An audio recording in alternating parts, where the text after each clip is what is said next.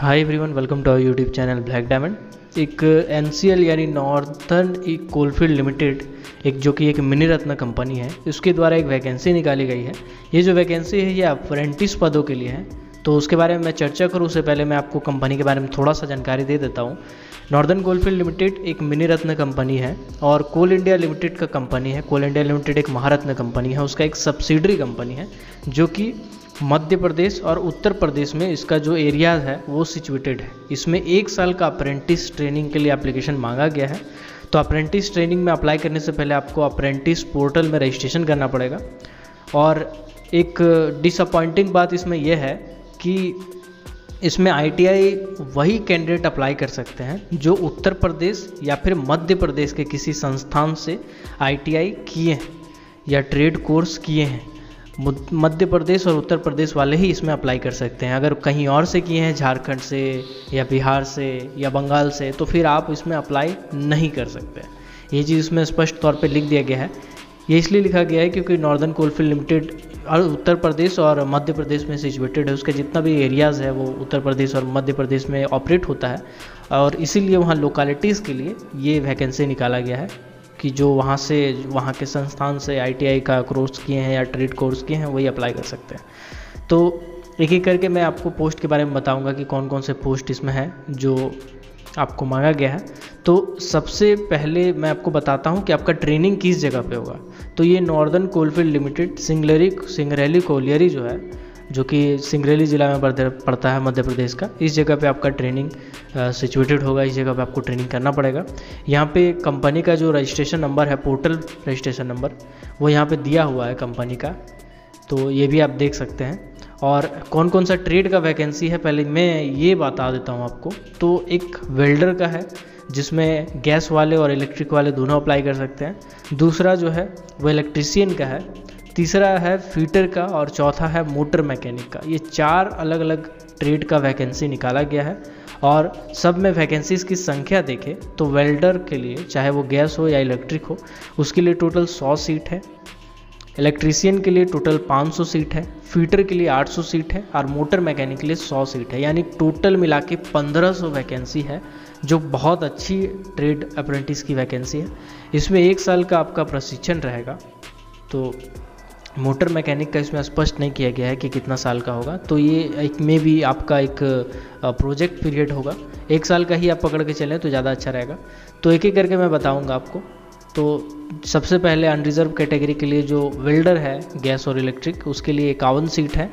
और अन्य पिछड़ा वर्ग जो ओबीसी कैटेगरी में आते हैं, उसके लिए पंद्रह सीट है। अनुसूचित जाति यानी एससी के लिए चौदह सीट अनुसूचित जनजाति यानी एसटी के लिए बीस सीट है। और यहाँ पे कुछ पीडब्ल्यूडी कैंडिडेट के लिए भी सीट रिज़र्व रखा गया है। ओएल यानी वन लेग वाले जो हैं उसका दो सीट है। और एच यानी हियरिंग इम्पायर्ड यानी कि जिनका आ, सुनने में जिसको पार्सली डेप्ट भी बोलते हैं सुनने में जिसका प्रॉब्लम है उसके लिए भी दो सीट अलग से रखा गया है। उसके बाद टोटल मिला के इसमें 100 सीट है, एक साल का आपका प्रशिक्षण है। इसी तरह इलेक्ट्रीशियन की बात करें तो इलेक्ट्रीशियन में अच्छा खासा वैकेंसी है। दो सीट सिर्फ़ अनरिजर्व कैटेगरी के लिए है। और ओबीसी कैटेगरी की बात करें तो 75 सीट है एससी कैटेगरी के लिए इकहत्तर सीट है और एसटी कैटेगरी के लिए 100 सीट है। और अगर बात करें वन लेग वाले तो उनका 10 सीट है और पार्शियली डेप वाले के लिए 10 सीट है। और टोटल जब हम इसको जोड़ेंगे तो 500 सीट है और इसका भी एक साल का प्रशिक्षण है। फीटर की बात करें तो 406 सीट है। अनरिजर्व कैटेगरी के लिए 120 सीट है। ओबीसी के लिए एससी के लिए 114 है और एसटी के लिए 160 सीट है। बाकी 16 16 करके इसमें डिवाइड किया गया है। बत्तीस सीट भी है इसमें total P W D candidate के लिए। और टोटल अगर हम देखेंगे तो 800 सीट है। इसका भी एक साल का प्रशिक्षण है। जो लास्ट सीट है मोटर मैकेनिक का, इसमें इक्यावन सीट है अनरिजर्व कैटेगरी के लिए, पंद्रह है ओबीसी के लिए, चौदह है एस सी के लिए और 20 है एस टी कैंडिडेट कैंडिडेट के लिए। तो चार जो है वो P W B D candidate के लिए है। टोटल मिला के सौ सीट इसमें है। अगर हम ग्रांड टोटल की बात करें तो टोटल अनरिजर्व कैटेगरी के लिए सात सौ बासठ सीट है और ओ बी सी कैटेगरी के लिए 225 सीट है अलग से। एस सी के लिए अलग से 213 सीट है और एस टी के लिए 300 सीट है टोटल अलग से। कुल मिलाकर के 1500 सीट की वैकेंसी है। तो ये काफ़ी अच्छी अप्रेंटिस की वैकेंसी है। तो इसमें जो यूपी वाले होंगे, जो यूपी के किसी संस्थान से आईटीआई किए हैं या ट्रेड वाला कोर्स किए हैं, जो एन सी बी वाला है, मैं आगे बताऊँगा आपको, या एम पी से किए हैं, वो अप्लाई कर सकते हैं और उनको बहुत अच्छा बेनिफिट मिलेगा, क्योंकि इतना जो सीट का वैकेंसी निकाला गया है, इसमें आपको शॉर्टलिस्ट करने में आसानी होगा। मतलब ज़्यादातर चांसेस है कि आपका हो जाए, अगर आप उस जगह से किए हुए हैं तो। आगे मैं आपको बताता हूँ कि क्या क्या इसका एलिजिबिलिटी क्राइटेरिया रखा गया। है तो जो वेल्डर है, चाहे वो गैस वाले हों, चाहे इलेक्ट्रिक वाले हों, अगर वो एट पास है, साथ ही साथ आईटीआई किए हुए हैं, ये चाहे वो आप एनसीबीटी से करें, चाहे एससीबीटी से करें यूपी और एमपी स्थित किसी भी संस्थान से तो आप अप्लाई कर सकते हैं, कोई प्रॉब्लम नहीं है। इलेक्ट्रीशियन के लिए है टेंथ पास होना चाहिए, और साथ ही साथ आईटीआई होना चाहिए, चाहे आप एनसीबीटी से करें या एससीबीटी से करें। अगेन वही टर्म्स एंड कंडीशन है यूपी या एमपी से। फीटर के लिए भी वही है कि टेंथ पास होना चाहिए, साथ ही साथ आईटीआई होना चाहिए N C B T S C B T से। मोटर मैकेनिक के लिए भी वही है कि टेंथ पास होना चाहिए आईटीआई होना चाहिए मैकेनिकल ट्रेड से मोटर मैकेनिक ट्रेड से N C B T S C B T trade से। तो सभी ट्रेड के लिए जो बेसिक एक एलिजिबिलिटी रखी गई है, वो ये रखी गई है कि अगर आप जनरल कैटेगरी या ओबीसी कैटेगरी से आते हैं तो आपका जो ट्रेड है, यानी कि N C B T S C B T जो आपने आई किया है, वो उसमें टोटल में स्कोर मिला के आपका 50 प्रतिशत होना चाहिए। पूर्णकालीन का इसमें बात किया गया मतलब सब जोड़ जाड़ के एवरेज निकाला जाएगा तो 50 परसेंट आपका होना चाहिए, तब आप अप्लाई कर सकते हैं। वही अगर आप दिव्यांग कैटेगरी में आते हैं, यानी पी कैंडिडेट में आते हैं, या फिर अनुसूचित जाति, जनजाति, यानी S C S T category में आते हैं तो फिर आपको 45 परसेंट आपका होना चाहिए आईटीआई का संपूर्ण मिला के एवरेज मैं बात करता हूँ कि जो लास्ट डेट इसमें है, वो 30 छः 2021 के हिसाब से इसमें निर्धारित किया जाएगा, योग्यता, आयु, ये सब कुछ। और इसमें P W B D candidate के लिए भी निकाला गया है तो उसमें भी कुछ रिजर्वेशन क्राइटेरिया दिया गया है, आप इसको भी अच्छे से पढ़ सकते हैं। मैं इसका एक काम करूँगा, मैं इसका पी डी एफ़ अपने टेलीग्राम ग्रुप में डाल दूँगा, आप लिंक डिस्क्रिप्शन में होगा, वहाँ से टेलीग्राम ग्रुप ज्वाइन कर लेंगे, वहाँ ये आपको मिल जाएगा, आप वहाँ से डाउनलोड कर लेंगे। ड्राइव शेयर करने के बाद बहुत सारा प्रॉब्लम होता है कि आप डाउनलोड नहीं कर पाते हैं, कुछ दिन में हट जाता है लिंक डिसेबल्ड हो जाता है, बहुत सारा प्रॉब्लम होता है, इसके लिए मैं टेलीग्राम ग्रुप बनाया हूँ, और टेलीग्राम ग्रुप में ही ऐसे मैं पी डी वैकेंसी से रिलेटेड डालता रहता हूँ। तो अगर आपने अभी तक हमारे चैनल को सब्सक्राइब नहीं किया है तो हमारे चैनल को सब्सक्राइब करके बेल आइकन को प्रेस कर दीजिएगा, क्योंकि आईटीआई से रिलेटेड चाहे वो माइनिंग ट्रेड हो मेटल माइनिंग हो कोल माइनिंग हो या पावर सेक्टर हो, उसकी जितनी भी कंपनीज़ निकलेगी, उन सभी के लिए मैं अलग से वीडियो बना दूँगा। तो इसमें जो एज है, वो ये होना चाहिए कि आपका मिनिमम एज जो है, वो 16 साल होना चाहिए और मैक्सिमम जो है, वो 24 साल होना चाहिए, कम से कम।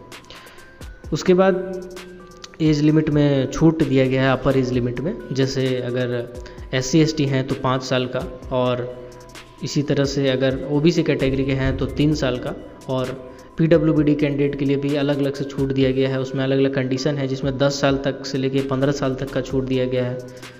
तो इसमें आप अप्लाई कैसे करेंगे इसके बारे में पहले आपको बता देता हूँ। तो अप्लाई करने के लिए आपको सबसे पहले apprentice India dot O R G यहाँ पर जो आ रहा होगा W W W dot apprenticeship यहाँ पे जो साइट आ रहा होगा W W W dot apprentice India dot O R G dot in इसमें आपको लॉगिन करना है और अगर आपने आईडी पहले से नहीं बनाया तो आपको यहाँ पर रजिस्ट्रेशन करना पड़ेगा। आप इसमें कैसे रजिस्टर करेंगे? इसके लिए आप यूट्यूब में सर्च कीजिएगा अप्रेंटिस पोर्टल में कैसे रजिस्ट्रेशन करें। ऐसे में बहुत सारे वीडियो आ जाएगा, उसमें आप क्लिक कर सकते हैं। या फिर अगर आपको स्पेशल डेडिकेटेड वीडियो चाहिए तो आप कमेंट सेक्शन में कह सकते हैं। मैं इस पर वीडियो बना दूँगा। उसके बाद, यहाँ पे जाने के बाद आपको www.nclcil.in में जाके ऑनलाइन एप्लीकेशन करना पड़ेगा उस रजिस्ट्रेशन नंबर को यूज़ करते हुए। तो ऐसे करके आप अप्लाई कर सकते हैं। अप्लाई करने से पहले आप अपने पास एक फ़ोटो रख लेंगे स्कैन करके, जो कि सिक्स मंथ के भीतर का होना चाहिए और खुद का सिग्नेचर रखेंगे। उसके बाद आपका मदर फादर का आपको हस्ताक्षर रखना है अपलोड करने के लिए। उसके बाद आईटीआई का मार्कशीट चाहिए आईटीआई का प्रमाण पत्र चाहिए मतलब पासिंग सर्टिफिकेट चाहिए। डेट ऑफ़ बर्थ सर्टिफिकेट के रूप में आप एट या टेंथ का जो भी अंक पत्र है, उसमें अगर आपका डेट ऑफ़ बर्थ है तो उसको यूज़ कर सकते हैं या फिर नगर पालिका से जो बनता है, आपको उसको यूज़ कर सकते हैं। पैन कार्ड अगर आपके पास है, आधार कार्ड है जाति प्रमाण पत्र का अगर आप लाभ लेना चाहते हैं, जाति का, कास्ट का, और बैंक खाता का विवरण, ये सब चीज़ को आपको स्कैन करके रख लेना है। जब आप अप्रेंटिस पोर्टल पे रजिस्ट्रेशन करेंगे तो। उसके बाद अप्रेंटिस पोर्टल में जाकर आप रजिस्ट्रेशन कीजिएगा सारी चीज़ आपको अपलोड करनी पड़ेगी। देन आपको एनसीएल के साइट में आके अपलोड करना है और फॉर्म को भरना है। इसमें एक बात यह है कि स्टाइपेंट के बारे में इसमें क्लियरली नहीं कहा गया है कि स्टाइपेंट दिया जाएगा या नहीं दिया जाएगा। तो ऐसा जब भी किस सिचुएशन होता है कि स्टाइपेंट के बारे में क्लियरली नहीं लिखा जाता है कि दिया जाएगा या नहीं दिया जाएगा, बस इतना लिखा जाता है कि अप्रेंटिसशिप एक्ट जो 1961 है उसके तहत दिया जाएगा। जैसे कि यहाँ पे नौ नंबर पे लिखा हुआ है, आवेदक का स्वास्थ्य प्रशिक्षु, अधिनियम उन्नीस सौ इकसठ, संशोधन सहित और एन की खदानों में ये सब जितनी चीज़ें लिखी हुई हैं एक्ट लॉ इसके आधार पर तो इसके आधार पर ये होता है कि जो अप्रेंटिस एक्ट 1961 है और जो संशोधन किया गया था 2014 में, और प्रशिक्षु, जो शिक्षु नियम है 1992 का, इन सभी को मिला के देखा जाए तो सात हज़ार रुपया स्टाइपेंट पर मंथ देना चाहिए। 2017 में भी इसका संशोधन किया गया था तो उसके हिसाब से आपको अगर इसमें क्लियरली लिखा हुआ नहीं है तो सात हज़ार रुपया पर मंथ आपको स्टाइपेंड दिया जाएगा कंपनी की ओर से। तो ये बहुत अच्छा अपॉर्चुनिटी है, क्योंकि आईटीआई वालों को डायरेक्ट जॉब मिलना मुश्किल होता है। किसी कंपनी में अगर मिलती भी है तो उतना अच्छा सैलरी नहीं होता है। और यहाँ पे एक नवरत्न मिनी रत्न कंपनी है नॉर्दर्न कोलफील्ड लिमिटेड एनसीएल में। इसमें अगर आप अप्रेंटिस करते हैं तो आपका बाकी जो प्राइवेट कंपनी में आप अप्रेंटिस करने के बाद जाएँगे तो आपका वैल्यू थोड़ा बढ़ जाएगा।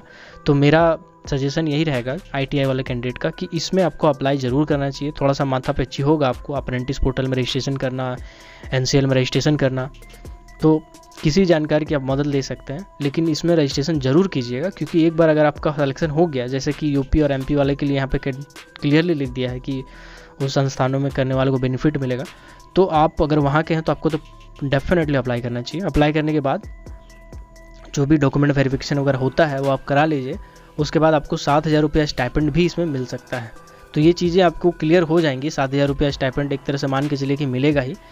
हालाँकि यहाँ पे स्पष्ट तौर पे लिखा नहीं है, लेकिन जो एक्ट है, नियम है रूल है रेगुलेशन है, उसके हिसाब से देना चाहिए, दिया जाता है। अब मैं बताता हूँ कि डेट कब से है। दस छः दो हज़ार इक्कीस से इसका प्रारंभ हुआ है मतलब एप्लीकेशन डेट स्टार्ट हुआ है और नौ सात दो हज़ार इक्कीस को शाम को पाँच बजे तक आप ऑनलाइन एप्लीकेशन कर सकते हैं। इसको अप्लीकाई एप्लीकेशन करने के बाद आपको कोई हार्ड कॉपी वगैरह कहीं भेजना नहीं, आपको ऑनलाइन अप्लाई करना है इसके लिए आपको कोई पैसा नहीं लगता है। तो ये बहुत अच्छी चीज़ है कि आपको कोई भी फ़ी देना नहीं पड़ेगा। बस थोड़ा सा दिमाग लगाना है आपको। तो आई होप आपको ये वीडियो अच्छे से समझ में आ गया अगर अगर आपको कोई भी डाउट है इससे रिलेटेड तो आप कमेंट सेक्शन में कमेंट करके पूछ सकते हैं। और अगर अभी तक आपने हमारा फेसबुक ग्रुप ज्वाइन नहीं किया है फेसबुक पेज ज्वाइन नहीं किया है तो लिंक डिस्क्रिप्शन में है। आप फेसबुक पेज को फॉलो कर सकते हैं। और लाइक भी कर दीजिएगा, ताकि जब भी मैं वहाँ पे फ़ोटो कोई अपडेट कोई पीडीएफ वैकेंसी से रिलेटेड कुछ भी पोस्ट करूँ तो आपको पता चल जाए। अगर आप पीडीएफ से रिलेटेड ऐसे वैकेंसी से रिलेटेड पीडीएफ लेना चाहते हैं, देखना चाहते हैं, या ये पीडीएफ डाउनलोड करना चाहते हैं तो टेलीग्राम ग्रुप ज्वाइन कर लीजिएगा। और ट्विटर पर भी अगर आप चाहते हैं तो फॉलो कर सकते हैं। तो मिलते हैं अगले किसी वीडियो में, तब तक के लिए keep watching keep supporting till then जय हिंद। ऐसे ही कोल सेक्टर और मेटल माइनिंग और पावर सेक्टर से रिलेटेड हर छोटी बड़ी खबरों से अपडेट रहने के लिए वैकेंसीज से अपडेट रहने के लिए हमारे चैनल को सब्सक्राइब करके बेल आइकन को ज़रूर प्रेस कर दीजिएगा, ताकि जब भी मैं वीडियो डालूँ वीडियो सबसे पहले आप तक पहुँचे। Keep watching keep supporting till then जय हिंद।